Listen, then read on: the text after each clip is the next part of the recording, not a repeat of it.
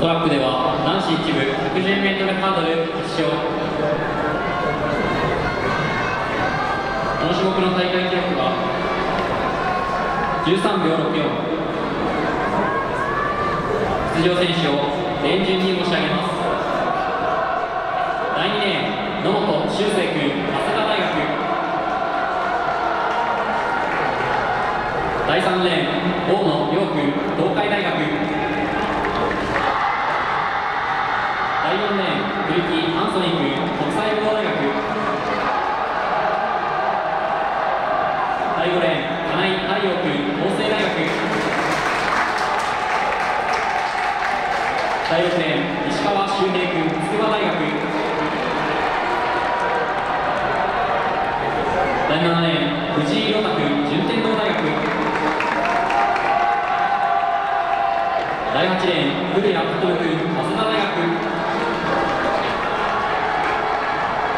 第9レーン古谷恭平君順天堂大学。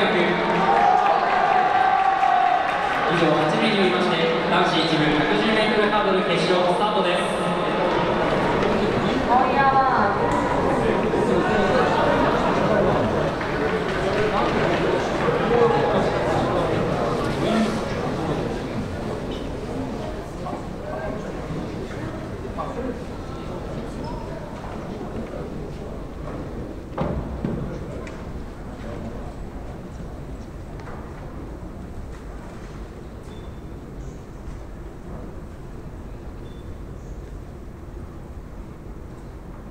对。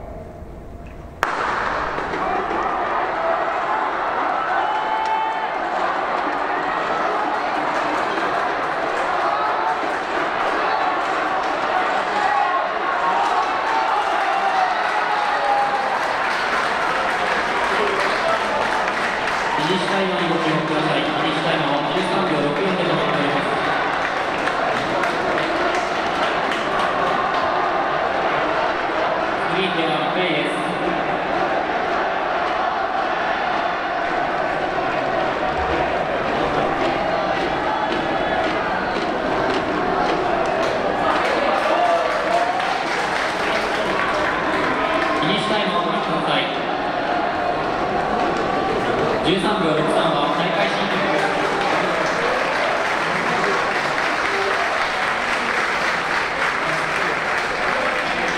スクリーンスクリーンには写真判定中の速報です1着金井海洋大学13秒63記録は大会新記録2着石川修平君筑波大学13秒72 3着、古谷明君、早稲田大学、13秒78、追い風0.4メートル、以下はスクリーンをご覧ください。